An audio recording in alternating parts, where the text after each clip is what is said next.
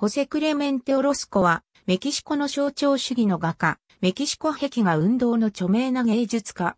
立ち上がる僧侶イダルゴ・ミゲル・イダルゴを描いた作品1883年11月23日にハリスコ州のサポティアンに生まれる。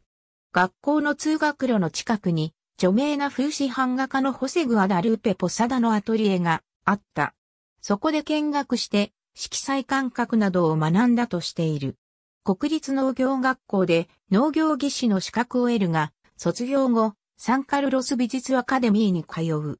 20歳頃、火薬を爆発させてしまい左手を失う。1911年の国立美術学校のストライキに参加する。メキシコ革命そ中の1922年の技能労働者、画家、彫刻家連合にも参加する。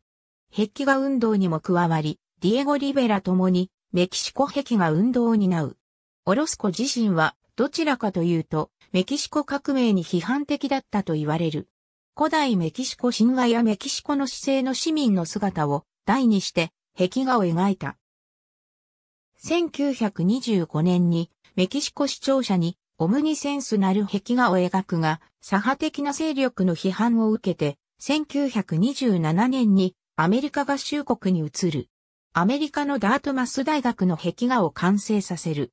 その他、アメリカにも、オロスコの壁画がある。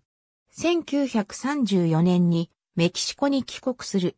工場の機械文明に批判的なタブローを描く。国立芸術宮殿の壁画、カタルシスや国立師範学校野外劇場の壁画、国民的グイ等、数々の壁画を残す。1949年9月7日に死去する。65歳であった。日本のメディアでは2009年8月13日に NHK のアートエンターテインメント迷宮美術館でホセクレメンテオロスコ特集が放映されている。また、名古屋市美術館にオロスコの作品、メキシコ風景がコレクションとして収められている。ありがとうございます。